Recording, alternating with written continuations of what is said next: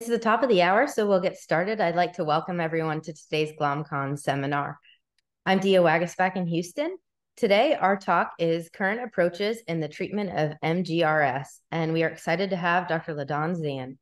I'm excited to be here to talk to you about current approaches in treatment of MGRS. I do receive, well, not me, but Mayo Clinic uh, does receive funding through Genentech and Janssen to conduct clinical trials, and I will be discussing off-label use of daratumumab.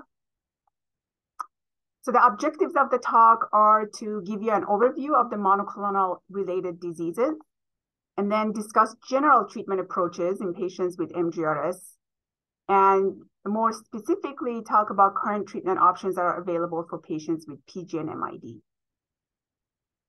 So when thinking about MGRS, I always like to think about the spectrum of the disease from MGUS to multiple myeloma and look and see where MGRS would fit.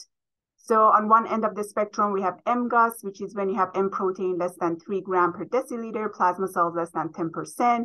And the key here is that you do not have evidence of end organ damage.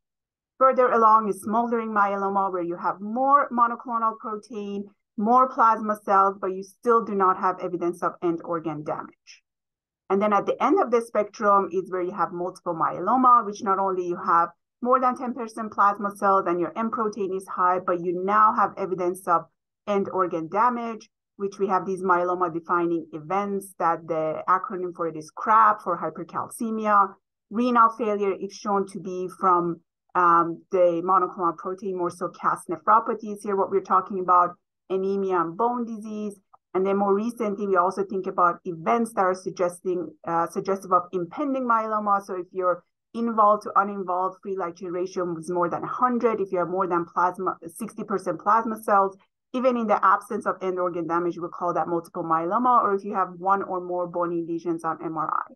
And the reason this distinction is so important is because if uh, you have MGUS, you don't need treatment. If you have smoldering myeloma, you don't need treatment, or sometimes you can go into clinical trials. And if you do have multiple myeloma, you certainly do need to be treated. And then obviously over the years, we have come to notice that there are patients who do have these monoclonal proteins and the monoclonal protein is causing renal damage, but it is not, it does not meet the criteria for multiple myeloma. And that's where the term MGRS has come from.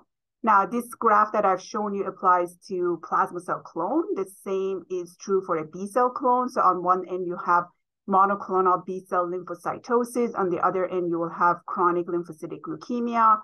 Same is true for a lymphoplasmacytic clone, which mainly would be IgM MGUS on one hand, and then on the other end of the spectrum would, would be Waldenstrom macroglobulinemia. And again, MGRS would be somewhere in between where you do have the monoclonal protein, but you do, the only organ damage that now you have is kidney involvement. So the definition of monoclonal gammopathy of renal significance is when you have a clonal disorder of a B cell, plasma cell, that produces a nephrotoxic monoclonal protein but does not meet the criteria for hematologic malignancy. And you also have to show that the renal disease is secondary to the monoclonal protein. So certainly just having CKD and a MGUS doesn't necessarily mean that you have an MGRS lesion. You have to do a biopsy to prove that.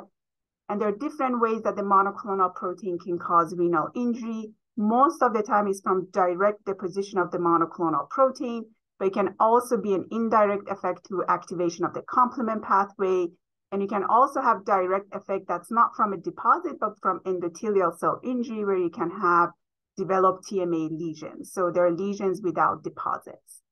So let's take another look of how the monoclonal proteins can directly cause renal injury the main um, differentiating factor really comes down to your electron microscopy. You want to look to see do you have deposits? And if you do, are they organized or are they not organized?